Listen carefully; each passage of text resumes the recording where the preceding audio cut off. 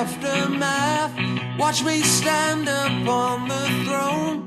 Now that you know you're not alone.